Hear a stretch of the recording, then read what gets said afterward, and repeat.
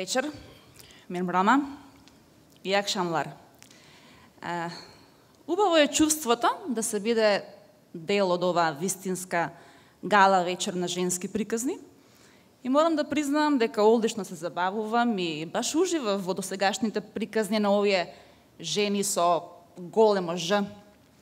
Кога Румена ми ја кажа темата на која што ќе треба да зборувам, добив, а, малце искрено ме фати паника. Ја знаете, онаа ситуација слична на, на ПМС. И почнав да размислувам на сите моменти кога добив. Мислам, кога нешто добив во животот.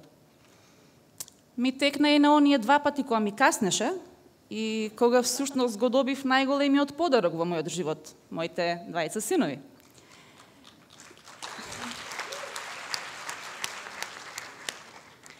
И така некако навлегов во длабокото и многу е интересно како еден на навидум обичен збор може да ви го врати целиот филм на животот пред очи и да ви ги наполни со солзи, што од среќа, што од тага и колку многу приказни може да бидат испреплетени на овој збор, а кои што може да бидат и многу духовити, но истовремено и сериозни и емотивни.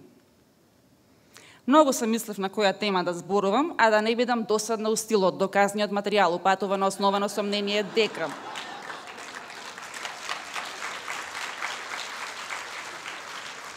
Помислив да раскажам и некоја измислена приказна, меѓутоа сватив дека веднаш ќе ме прочитате, бидејќи сето она што се случуваше изминатиот период, од која сум дел од СЈО до денес, не може да се скрие. Дори мислам дека има доволно материјал да се направи еден албум со сликички. Ви текнува како порано што имаше со барби, со фудбалери, со ликови од цртани филмови или од ТВ серии кои што беа актуелни некој период. Па така, на пример, имате Фатиме Фетај во суд, Фатиме Ташна, Фатиме во диско, Фатиме Бунда. И мислам дека и веќе дупликат сликички почнаа да се појавуваат.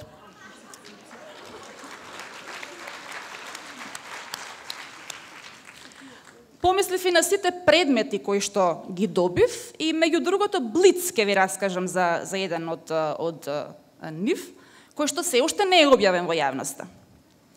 Нели граѓаните секојдневно се охрабруваат да пријават кривишни дела во СЈО или да бараат други податоци. И така еден ден во СЈО стигнува поднесок, значи писмо во запечатен коверт со следново барање. Фатиме Фетај да ги врати шишките. Се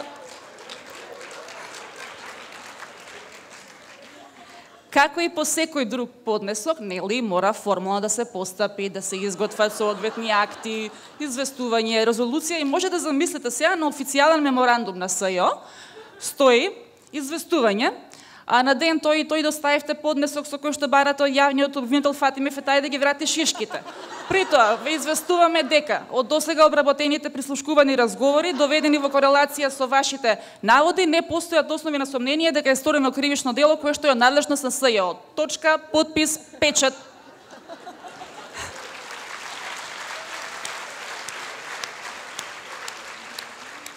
Да, предпоставувам дека и на стручната служба им било смешно кога го пишувале тоа. Сепак, колку што јас разбрав, вечерва треба да зборувам за нешто што асоцира на бестрашност, на храброст. Така јас решив да ви зборувам а, вака изворно за еден многу многу контроверзен момент во мојот живот.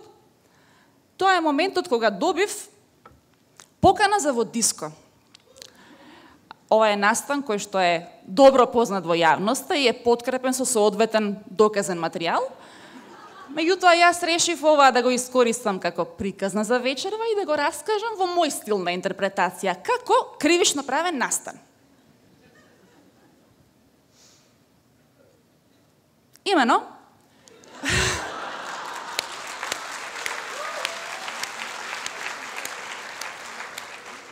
критичната вечер сабота. By the way, тоа е еден од двата неработни денови во текот на неделата, кои што јас лично редко ги искористувам како неработни. Во 21 часот и 45 минути јас го напуштив моето живеалиште и се упатив на местото викано Кози бар, каде што се сретнав со мои пријатели. На тоа место стигнав седејќи на совозачкото седиште на патничко моторно возило, управувано од лицето Суат Закири, инаку попознат како мој брачен другар. А ако не верувате, сведокот е во публика, може да ви потврди така. На тоа место се одржуваше а, караоке забава, имаше многу очевици на настанот. Луѓето беа кул, позитивни, пеја, се забавува. И јас имав многу силна желба да запеам, бидејќи нели кој пее зло не мисли. Ама ценејќи ги сите околности на случајот, решив овој пат да се воздржам. Ајде да се разбереме, гласот ми е убав за пење, само потушко ја пеам. Неколку а, часа после полнојк, или што би рекле ние правниците во раните утрински часови, пријателите со кои што бев излезена ме известија дека сакаа да продолжат во диско. И тогаш јас ја добив таа фамозна покана и јас да им се а, придружам. И овој пат, ценејќи ги сите околности на случајот, при чиста свест и здрав разум, присетувајќи се при тоа и на сите американски филмови со суди и со обвинители, јас, јас се одлучив да ја прифатам поканата и се упативме кон местото викано епицентар. На тоа место сакав да спроведам едно истражно действие. Едноставно сакав да истражам, да ги истражам мотивите и поведението на луѓето кои што посетуваат диско. Односно, Дали тоа го прават за да на вистина се забавуваат и уживаат, или едноставно ја тестираат издржливоста на батеријата на нивните мобилни телефони, бидејќи цело време се на мобилен телефон. На тоа место сретнав еден колега, судија, кој што беше доста зачуден што и мене ме гледа таму. Вика, е, што правиш ти овде? Судијата мене ме прашува. Како и да е, По спроведување на наведеното истражно действие, јас си се вратив во моето живеалиште. Во делот што од тога се случуваше, јавноста мора да биде исклучена.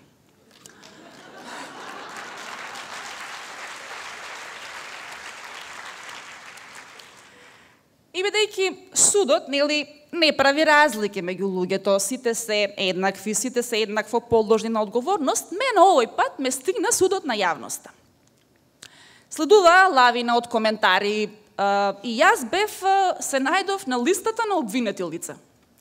За да биде се, согласно Законот за кривичната постапка, имаше обвинители кои што постапуваа по службена должност во овој мој случај. Главниот мислам дека Бранко Геровски се викаше или не ми текнува сега точно. А, Јас како обвинета добив и бесплатна правна помош. Ја знаете, таа помош што им следува на загрозените случаи. И еден од адвокатите, Бранко се викаше, да. Јас како обвинета одлучив да се бранам со молчење. Знаете, често пати како ви, викаат нашите обвинети, не го разбирам обвинението,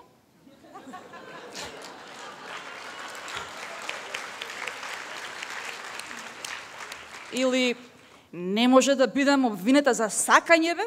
Сум сакала да видам што се случува од диско.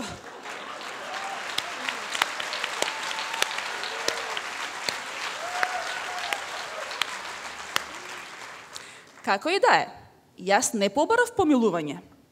Сега ако некој повтор пат погрешка ме помилува, it's not my fault, да знаете. По одржување на главната расправа, одлуката беше дека делото што ми се става на товар не е кривично дело кое се гони по службена должност. Предпоставувам дека незадоволната страна, обвинителите, си вложија жалба, бидејќи, знаете, токму тука е убавината на правото. Баш од тој момент кога ќе помислиш, е, се спаси, услов, уживам, тука се одново започнува. Веројатно сега со ова моја приказна вечерва по повод поднесената жалба ќе биде одржана и јавна седница, нели Facebook војна, и од утре повторно случајот ќе биде актуелен и ќе трае и ќе трае. Конечната, превосилната одлука во врска со овој случај се уште не ја знам, меѓутоа ако обвинителите останат на обвинение, имајќи предвид дека не го признав кривичното дело, не можам да очекувам условна. Тоа е.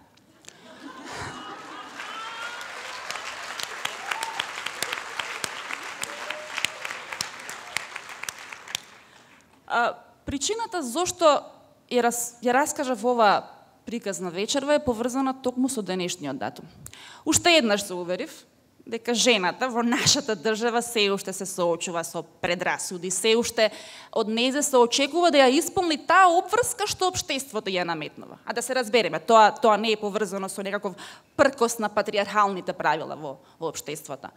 А, бидејќи видете, делот а, коментарите поврзани со моето мојата посета на диското, дел може би оправдани, дел може би не, а, не беа толку многу заради функцијата која што ја извршувам.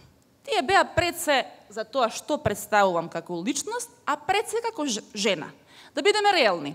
И моите машки колеги, судии и обвинители, вклучително и судијата кој што го сретнав таа вечер на диско, И тие имаат слобода и одат по диско, по кафани. Знаете, по автоматизам, ако одите во диско, не мора да значи дека се однесувате недолично. Недолично може да се однесуваш и кога одиш во музеј, во театар. И да, by the way, често пати одам и на театар и баш супер си поминувам. Од друга страна, критиките кои што беа упатени, односно, по однос на моето одење во диско, како и предметот со шишките што ви го спомнав, ме подсетуваат и на тежината на нашата работа, и на одговорноста, и на очекувањата што ги имаат а, а, граѓаните од нас, и ние мора да бидеме спремни да се соочиме со тоа.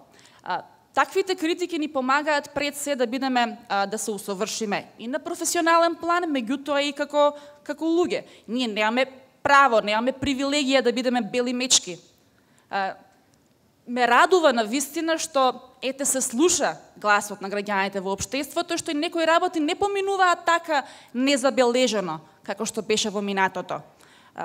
Во тоа е и смислата на демократијата. Меѓутоа, сепак сметам дека а, тој глас треба да се искористи за да сите ние заедно се бориме за општество во кое што ќе се врати правдата. А тоа е битка која што не се добива така преку ноќ и многу лесно. Немирот треба да ни произлезе од отсуството на правда во општеството, а не причина за нашиот немир да биде дали некој што се бори или барем се обидува да се бори за, за правда, одлучил еден викенд да, да се опушти, да се забавува.